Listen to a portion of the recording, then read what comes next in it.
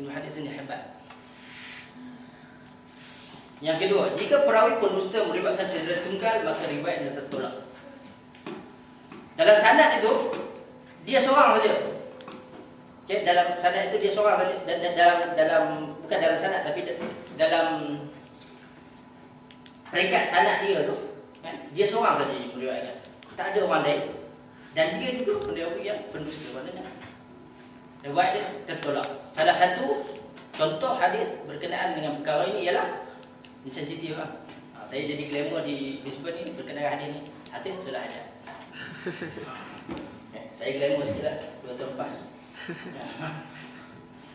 hadis salah hajat.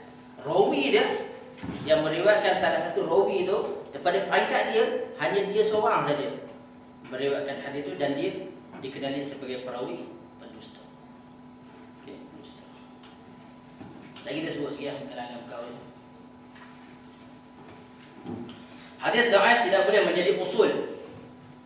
Tetapi mesti berada di bawah nas yang diperakui sahih. Mana dia? Dia hanya sampingan saja. Dia tidak boleh menjadi asas.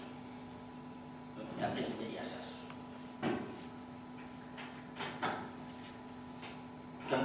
Makna hadis masih dapat digolongkan dalam satu tema dasar umum yang diakui. Ini saya sebut tadi, hanya sebagai sampingan maksudnya. Hadis-hadis lain yang sahih menceritakan tentang satu perkara. Dan dia juga hadis ni walaupun tak tapi kata-kata matan dalam hadis itu sama. Maknanya hadis yang kuat itu menyokong dia. Maknanya dia boleh diterima. Nah, tidak diantikatkan sebagai sabit daripada Rasulullah sallallahu alaihi wasallam. Okey, perlu dinyatakan tahu siapa yang meriwayatkan, siapa yang menyampaikan kuliah, ceramah, khutbah, okey. Tazkirah perlu menyatakan dhaif dan berhati-hati dengan penggunaan istilah yang jazam. Apa maksud jazam? jazam maksudnya pasti. Pasti okey. Nah, saya sebut saya sebut sikit berkenaan dengan istilah. Okey. Tak kena ya. Okay, beberapa pernyataan penting. Hadis yang masyhur di kalangan orang ramai tidak semestinya sahih. Macam tadi lah. Hadis tu di Malaysia kita dengar selalu lah. Ya. Lagi apa? Bulan puasa kita dengar hadis. Awal Ramadan itu rahmah. Pertengahannya maghfirah. Sepertiga yang terakhirnya yatkum minan nar. Kebebasan daripada api neraka. Hadis itu hadis tamat. Tamat. Masyhur kan orang bagi motivasi berkenaan dengan puasa banyak cerita tentang perkara itu kan. Sebab hadis itu hadis tamat. Dan bersangatan tamat. Bersangatan tamat. Ada siapa boleh bagi contoh-contoh hadis tamat yang terkenal lah. Terkenal orang selalu sebut. Tapi hadis itu hadis tamat.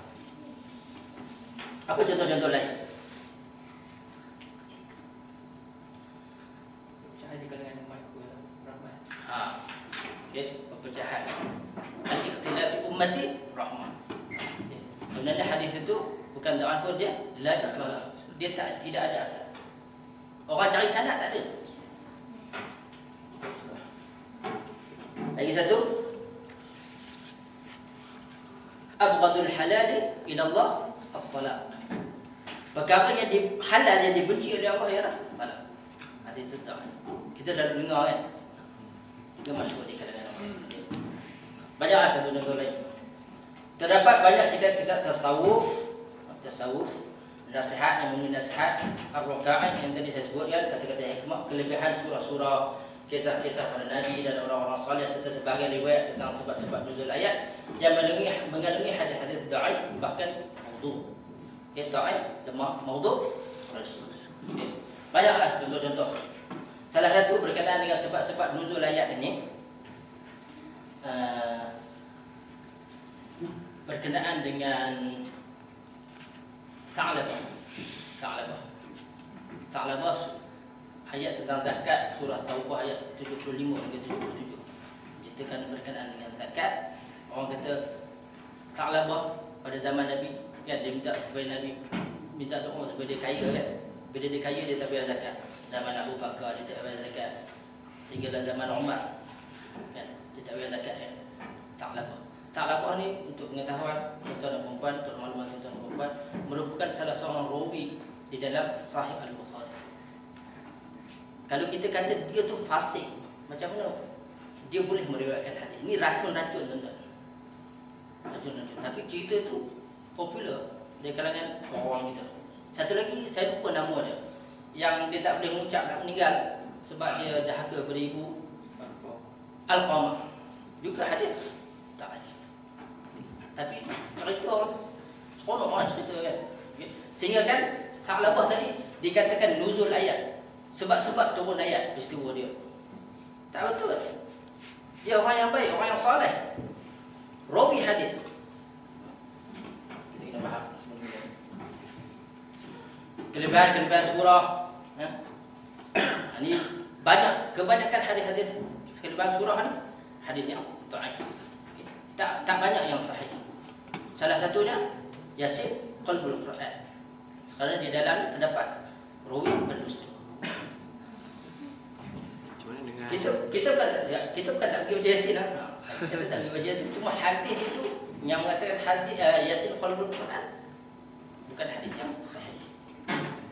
Ya, macam mana pula dengan hadis yang berhubung dengan apa kalau macam bangsa apa meninggalkan solat subuh bangsa meninggalkan solat asar betul yang sama macam berzina dengan ibu sendiri berdua tu Ha. itu hadis maudhu dan dibicarakan dengan panjang lebar ni salah seorang yang uh, ulama terkini uh, al-Qaradawi hadis maudhu kita kita menggalakkan nak menggalakkan orang solat tetapi banyak hadis-hadis sahih yang lain ayat Quran sendiri yang menceritakan tentang keburukan meninggalkan solat jadi buat apa kita cari yang yang maudhu dan yang ni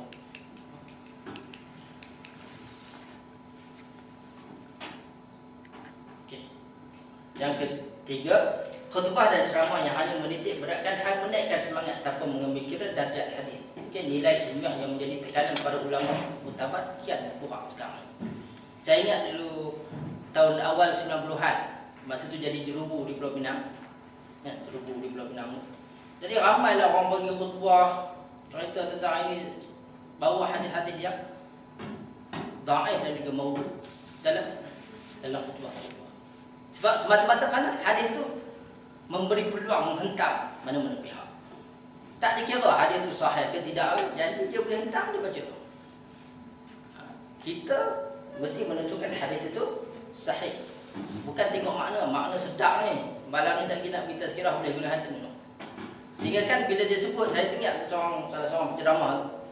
Bila dia sebut hadis maudhu berkenaan dengan jerubu tu, dia kata saya heran sebab apa tak ada orang pernah sebut hadis ini dalam ceramah-ceramah. Kita macam nak kata kat dia, tak ada orang sebut sebab hadis tu maudhu.